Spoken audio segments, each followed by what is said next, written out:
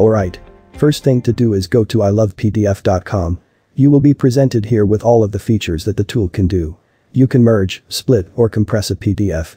You can convert it to any MS Office format to a JPEG file or an HTML file, and vice versa. You can edit a PDF, you can fill and sign, add watermark, rotate, unlock or protect the PDF. You can organize, convert to ISO standard PDF, repair, add page number, convert a scanned picture from your phone as a PDF, and convert a picture PDF into a text PDF. And every single one of these functionalities you can perform absolutely free. You don't even need to sign up. You can do all of these without requiring you to sign in. I Love PDF also has a phone app and a desktop app that you can access from the menu. You can download it from Google Play Store or Apple App Store. For the desktop app, you can get it for Mac OS or Windows 32 or 64-bit OS. I Love PDF was founded back in 2010 in Barcelona, Spain. Below this page, you can see the pictures and names of all the people involved in this company, including the founder, Marco Grassi, the software engineer, marketing, project manager, and all of the other important people of the company. Seems fun to work here. Okay. There are a lot of functionalities offered here, so I cannot try all of them, but I'll demo about 10 of them. Let's do the first one, the merge PDF files. First thing to do is select the first PDF file that we want to merge. Let's open the PDF file so you'll know what the content is. It has three pages, as you can see. And the second file that we're going to merge is this one. Let's open it. It also has three pages. These are the two PDF files that we're going to merge, Card Magic and David Blaine Levitation. Okay. Let's select the first file here. Now let's add the other one, the Card Magic PDF file. And you can merge more PDF files here. It is not limited to two. You can merge as many PDF files you want into one. For this sample, let's just merge two. Let's click Merge PDF. Now we can download the merge file. When we open this, as you can see, it is now 6 pages. We've successfully merged two PDF files. Now let's try the split PDF function. Let me show you the PDF that we are going to split first. Let's try this one. David Blaine's secret revealed. This contains 23 pages. The PDF might be too long and you want to get, for example, the first 10 pages only. You can use split PDF for that. Same procedure, let's select the PDF file first. You can split by range or by selecting the pages. For range, you can set the range of pages you want to remain in the PDF file. Let's say pages 1 to 10 only. Then let's click split PDF. Then we can download the splitted PDF file. Let's open it. There we go. The PDF is now just 10 pages. Okay. If splitting the PDF file still gives you a large file size, we can then do the compress PDF function. From my PDF files, I have one here with 128 kilobyte size. Let's try compressing that. Compressing a PDF will not change the PDF at all, it will just reduce the file size of the PDF file. Same procedure. Select the PDF file.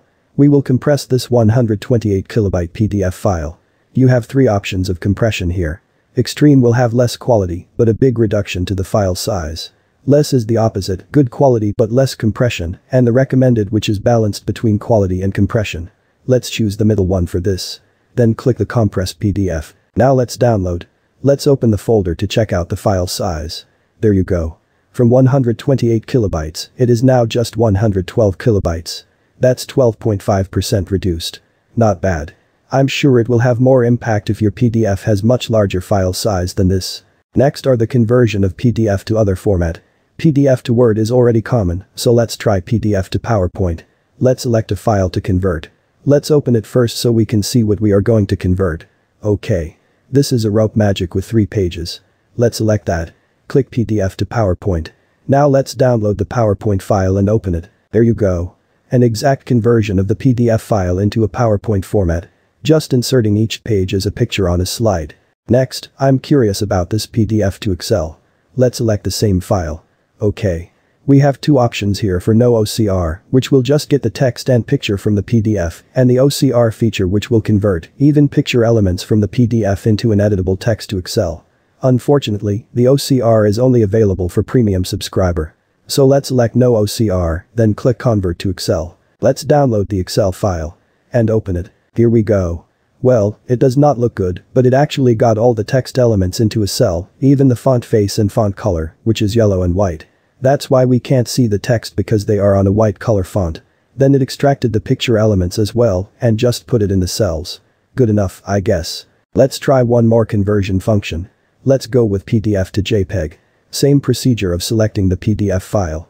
You'll have an option here to convert each page as one JPEG file or just extract the picture elements from the PDF file. Then you can choose the image quality. Let's go with page to PDF option with high quality. Then click convert to JPEG. Let's download. It create a zip file. Let's open that. There we go. Since we have three pages in the PDF file, we also got three JPEG images here. One picture representing one page of the PDF file. Now let's try the edit PDF. Let's select a PDF file here. You will then be taken here on the PDF editor. From here you can add text. You can select the font face and size, text color, make it bold, italics, underlined or fill its background. You can also doodle or draw within the PDF document. You can add an image and also add shapes. We can add a check for example and resize it. You can zoom in and out or select the pan tool here to drag the page up or down. Let's try to add a smiley face here in the document then save it by clicking edit PDF. Let's then download and open it. There we go. It's the PDF we just updated. Sign PDF can also be done in Acrobat Reader DC. I have created a video about it which I'll pop up in the screen now and you can also find the link from the video description.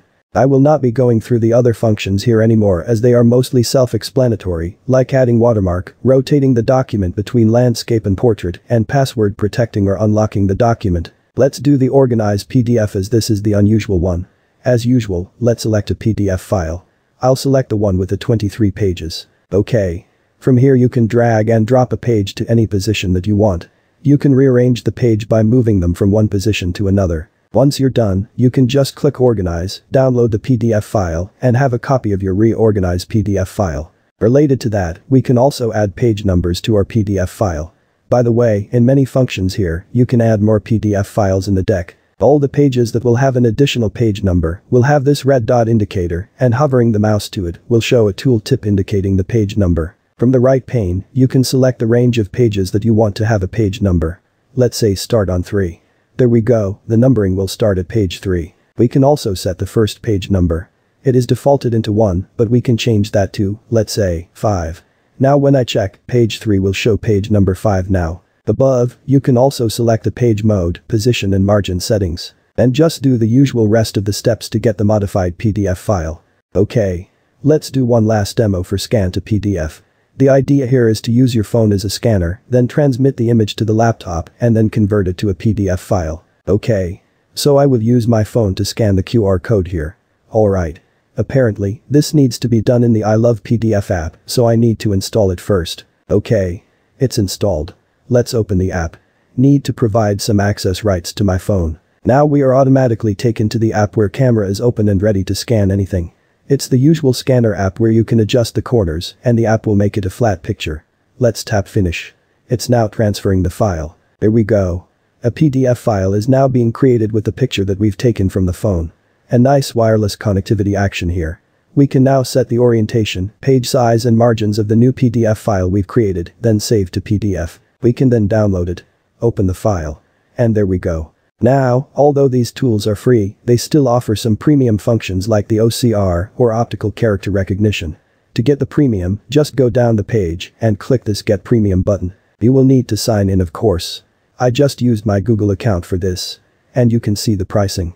It is a really cheap tool for only $7 a month or a cheaper $4 a month for a yearly subscription. At the right side, you can see all the perks you can get when you go premium. Alright. That's basically it for this video, and it is obvious that I really like this site and their free tools. You can do anything that you want to do to your PDF files, and everything is free. Who would not want a free tool? Since it can also convert any MS Office documents to PDF, and you can edit a PDF here as well, I love PDF.com basically eliminates the need for other PDF tools. A really helpful site and I highly recommend it. If you enjoy this video, give me a thumbs up. If it has helped you in any way, please do consider subscribing to the channel. Nilasuj for watching. Noba Air.